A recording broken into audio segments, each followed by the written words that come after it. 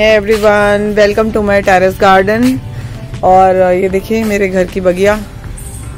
और देखिए, एक चीज़ मैं कहना चाहूँगी, जैसे अभी ये हर घर झंडा वाला जो था अभियान, ये ठीक है, हमने भी फहराया था, लेकिन अब इसको होता क्या है ना कि इसकी भी रेस्पेक्ट होती है, इसका भी कुछ ड्यूटी होती है, नहीं कि आपने लगा लिया तो अब बस ये फैला हुआ है इसकी क्योंकि वैसे तो होता है कि हर मॉर्निंग आप जब इसको चढ़ाइए और हर इवनिंग इसको झंडे को निकाल के रिस्पेक्टफुली इसको रखिए। अब देखिए, लगा तो दिया लोगों ने और अभी भी देखिए, ये छतों पे फैला हुआ है, ये देखिए, फैला हुआ है। तो लगाया हमने भी था बट हमने इसको निकाल दिया था इवनिंग में। और इसकी जगह जहाँ पर है, ये वहाँ पर बना रहे सुरक्षित जय हिंद। तो इसी के साथ मैं वीडियो स्टार्ट करती हूँ। आज हम ये लेमन ग्रास के बारे में जानते हैं। लेमन ग्रास बहुत ही हेल्दी हर्ब है और ये ग्रीन टी है बेसिकली तो इसकी चाय सभी को पता है चाय काढ़े में इस्तेमाल होता है और इसको लगाते कैसे हैं इसकी क्या टेक केयर है और इसका कैसे हम मतलब इसको स्टोर कर सकते हैं हार्वेस्ट करके यूज़ करने के लिए। तो ये देखिए मेरा ये 12 इंची के गमले में लगा हुआ है और मैंने ये लगवाया था नर्सरी से लाई थी मैं इसका छोटा सा प्लांट तो माली भैया नर्सरी से ला करके इसको लगाया है छोटे से प्लांट को लगाया था। और अब ये कम से कम भी आ, एक साल का प्लांट है बेसिकली ये। तो इसमें से मैं एक या एक बार हार्वेस्ट ले चुकी हूँ अच्छी खासी और अभी ये देख रहे हैं आप, फिर से बहुत सारा तैयार है, जिसको मैं कट करके छाए में जो थोड़ा बहुत और सूखना ये इस तरफ़ से भी देखिए आप, ये देखिए इस तरफ़ से। तो ये इस तरफ़ से भी तैयार है मेरा। और अगर मैं ग्रीन पोर्शन भी चाहती हूँ तो इसको भी छाए में काट करके सुखा लेंगे छाए छाए में। धूप में तो फिर इसका वो निकल जाता है, इसलिए हमेशा छाए में ही सुखाना चाहिए। तो छाए में आप सुखा लेंगे इसको। तो छाए में सुखा करके इसको आप एयर टाइट कंटेनर में करके रख के यूज़ कर सकते हैं। तो ये ग्रीन टी है और इसकी मिट्टी के लिए देखिए, मिट्टी इसकी बहुत ज़्यादा चिकनी मिट्टी नहीं होनी चाहिए। इसमें देखिए खाद डाली हुई अच्छी खासी भैया ने भी। तो मिट्टी भुरभुरी होनी चाहिए, मिट्टी भुरभुरी होनी चाहिए और इसमें हमने बहुत ज़्यादा टेक केयर करने की कोई ज़रूरत इतनी होती नहीं है इसमें ग्रीन लेमन ग्रास में और इसमें हमने, हम बीच बीच में थोड़ा सा सरसों की खली का जैसे छः महीने में एक बार एक मुट्ठी जितना डाल देते हैं ताकि अगर कोई फंगस वगैरह लग रहा है तो वो ना लगे और पौधा हमारा कीड़े से बचा रहे। तो वो है एक चीज़ और खाद, हम कोई भी खाद जो भी हम गोबर की या फिर वर्मी कंपोस्ट जो बाकी अपने गार्डन में डालते हैं पौधों में, इसमें वैसे भी हम बहुत ज़्यादा नहीं डालते हैं। हाँ लेकिन महीने में एक बार जैसे भैया माली भैया से हम हर पौधे में डलवाते हैं तो हम इसमें भी एक मुट्ठी जितना डाल देते हैं। तो उससे क्या है कि इसकी मिट्टी की वो स्ट्रेंथ भी बनी रहती है और ये पौधा अच्छा बना रहता है। तो इस तरह से आप इसको लगा सकते हैं अपने गार्डन में और ये देखने में भी ब्यूटीफुल लग रहा है और इस तरह से आप अपने घर में ही ग्रीन टी लगा करके उसको एंजॉय कर सकते हैं। हाँ बाकी जैसे हाँ इसमें कीड़े वगैरह भी नहीं लगते हैं कभी। मतलब मैंने कभी नहीं एक साल में फेस किया है। बट ये अगर कभी लग जाते हैं तो जैसे कि हमारे यहाँ तो आ, हम वीक हम वीकली गुड़ाई तो करते ही हैं हर पौधे की करते हैं तो इसकी भी करते हैं ताकि इसकी मिट्टी में ऑक्सीजन इसको भी मिलता रहे पौधे को हर पौधे की तरह से। तो वो एक चीज़ है टेक केयर की बेसिक टेक केयर्स हैं बेसिकली और आ, इसमें फिर हम महीने में एक मुट्ठी खाद जैसे हमने बताया, गोबर की या वर्मी कंपोस्ट जो भी हम बाकी गार्डन के पौधों में देते हैं, वो दे देते हैं।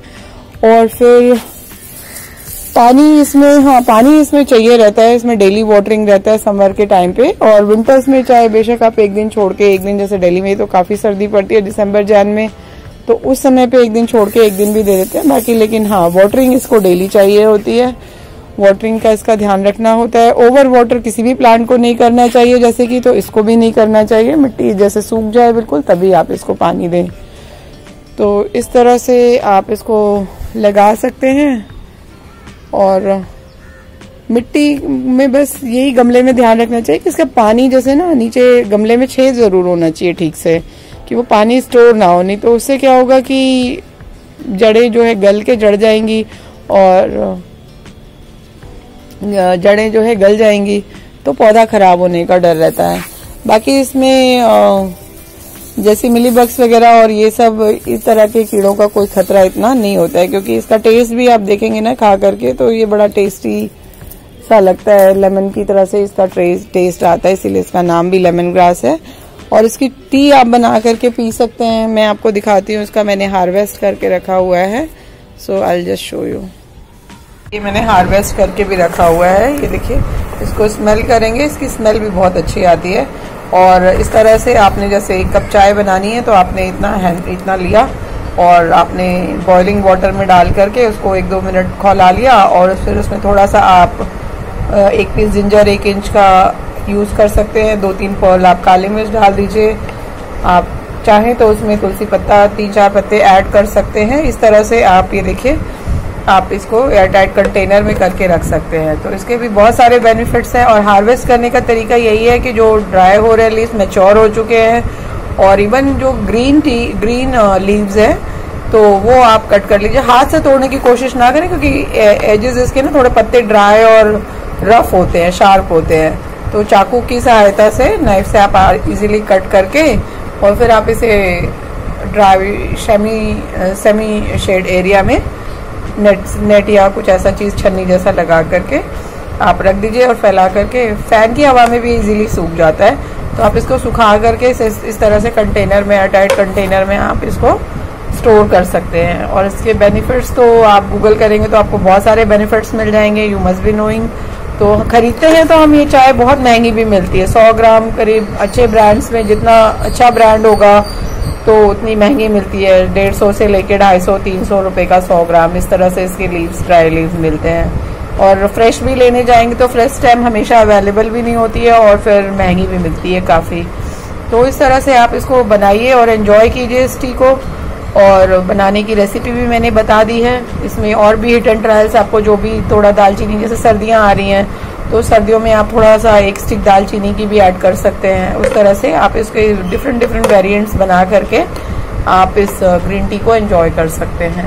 और ब्लोटिंग है डिटॉक्स करने के लिए है और कफ uh, कोल्ड है उसमें भी बड़ी सूदिंग लगती है। आप जैसे आप स्ट्रेन कर लें चाय को और फिर जब थोड़ा सा बिल्कुल उबलते टाइम हनी ना डालें आपने कप में स्ट्रेन कर लिया, उसके बाद एक मिनट वेट करके आप थोड़ा सा उसमें एक स्पून टी स्पून जितना हनी ऐड करके तो बहुत ही टेस्टी टी बन जाती है। तो कफ कोल्ड और हेडेक और इस तरह से ब्लोटिंग डिटॉक्स करने के लिए तो मल्टीपल बेनिफिट्स हैं इसके।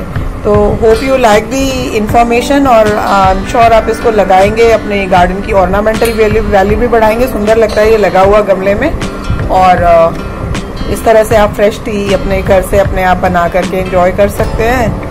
और आप इस इंफॉर्मेशन को शेयर कीजिए वीडियो को लाइक कीजिए, और यूट्यूब चैनल पर नए हैं तो उसको सब्सक्राइब कीजिए। और बस ऐसे ही मिलते हैं किसी और नई इंफॉर्मेशन के साथ, नए प्लान के साथ। और till then take good care of your yourself your once and of course your plants too. Or till then keep smiling. Happy gardening. Bye bye